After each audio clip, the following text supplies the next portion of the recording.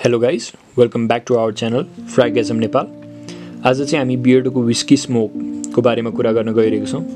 यसको स्मेलको कुरा गर्दा चाहिँ यो एउटा ओदे पाफर्म कन्सन्ट्रेसन हो। वेल कन्सन्ट्रेसनको कुरा हामी एकछिनमा गर्ने नै छौँ। सुरुमा बियर्डोको कुरा गर्दा चाहिँ बियर्डोले आफ्नो वेबसाइटमा जति पनि नोट्सहरू क्लेम गर्छ त्यो अनुसारको ठ्याक्कै स्मेल हुन्छ जस्तो चाहिँ मलाई लाग्दैन। र यो पर्टिकुलर पर्फ्युममा चाहिँ सिन्थेटिक एरोमा केमिकल युज भएको छ विस्की नोटको लागि. थोरै वुडी अनि एकदम माइन्युट उद अनि यसमा हल्का दालचिनी स्यान्डलवुडको हल्का बास्ना आउँछ र जुन स्मोक यिनीहरू बताउँछन् एउटा छुट्टै खालको स्मोकी बास्ना छ र यसमा टोब्याको या अझ भनौँ रोलिङ या चुइङ टोब्याको स्मेललाई ब्लेन्ड गरिएको छ।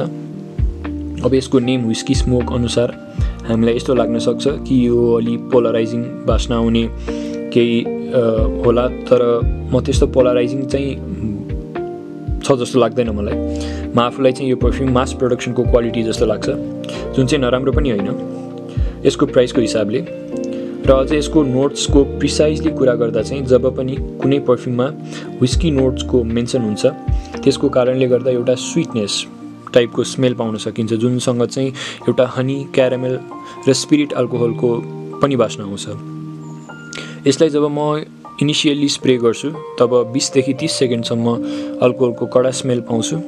र त्यो जायज पनि हो एज दे आर युजिङ विस्कीको नोट र यदि हजुरहरू पर्फ्युमसँग सेन्सिटिभ हुनुहुन्छ भने चाहिँ म हजुरहरूलाई नजिकैबाट स्प्रे गर्नु भनेर सजेस्ट चाहिँ गर्दिनँ।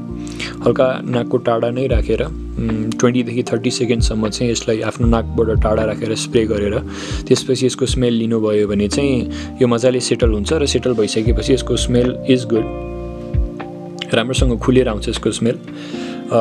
यसमा स्मोकको नोट्सको कुरा गर्दा चाहिँ हल्का हुक्का बार टाइपको स्मेलको युज भएको छ। र पचुली र कोरिएन्डरको नोट्सको पनि मेन्सन बियर्डोले गर्छन्। तर मलाई चाहिँ यसको स्मेलमा पचुलीको नोट्स आउँदै आउँदैन। अन्त म मैले राम्रोसँग एउटा नोट्सलाई अझै पनि मजाले ट्र्याक गर्न नसकेर पनि होला। I am also new in this and my nose is just exploring smell each and every day so म पनि सिक्दैछु स्मेलहरूलाई ट्र्याक गर्दैछु uh, तर यो स्मेल अब यो चाहिँ मैले धेरै भयो युज गरेको भएको हुनाले चाहिँ I do have bit knowledge about this यसको स्मेल अब मैले यसलाई स्विट भने तापनि गभर्मेन्टिस टाइपको चाहिँ स्मेल छैन यसको क्यारामेल र हनी भने तापनि अलि स्टिकी भारी टाइपको स्मेल चाहिँ यसमा छैन र यसमा उदको पनि एकदम स्मल माइन्युटमा युज भएको जस्तो लाग्छ मलाई। अब यसको कन्सन्ट्रेसनको हिसाबले मलाई चाहिँ यस्तो लाग्छ कि यही कुरा यही नोट्सलाई चाहिँ अलि राम्रो रेसियोमा युज गरेको भए अझ स्ट्रङ अझ राम्रो पर्फ्युम भएर आउँथ्यो होला।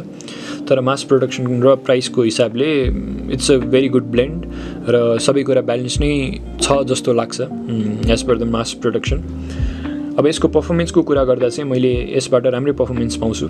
It is strong that is what I feel स्किनमा तिनदेखि चार घन्टा लन्जिभिटी रहन्छ भने सात आठ घन्टा लुगामा यसले टिकाउँछ र स्टार्टिङको एकदेखि डेढ घन्टासम्म यसले प्रोजेक्ट गर्छ। यसको पछाडि पनि स्मेल त रहन्छ तर हजुरको बडीमै मात्र लिङ्गर गरेर सीमित रहन्छ यो। हजुर मुभ गर्दा एउटा सानो ट्रेल क्रिएट गर्छ र एउटा सानो बबल चाहिँ हजुरले क्यारी गर्नुहुन्छ यो लगाएपछि। अब यसको युजेसको कुरा गर्दा चाहिँ यदि हजुर ट्वेन्टी थ्री प्लस र मेच्योर स्मेल गर्न मन पराउनुहुन्छ र if you can pull that maturity then हजुरहरूलाई यो स्मेल मन पर्न सक्छ र you you will enjoy this smell र राम्रो पनि स्मेल गर्छ हजुरलाई।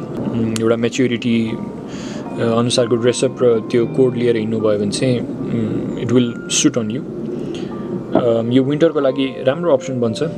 तर यसलाई गर्मीमा पनि इभिनिङको टाइम नर्मल मिटिङ र एसी इन्भाइरोमेन्टमै युज गर्न सक्नुहुन्छ र यसलाई पार्टी क्लबिङ र बिहेको फङ्सन जहाँ चाहिँ अलिकति कुल वेदर छ भने चाहिँ you guys can wear this अझ विन्टरमा त डेली लगाउन मिल्छ यसलाई and you can make this as you signature scent र फाइनलमा यसको प्राइसको कुरा गर्दा चाहिँ यसको हन्ड्रेड एमएलको बोटलको price around two thousand to twenty four hundred.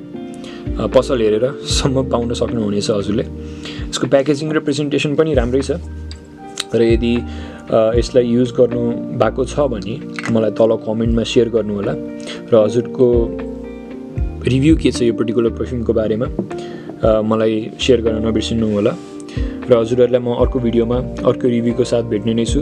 तबसम्मको लागि आफ्नो ख्याल राख्नुहोला। Thank you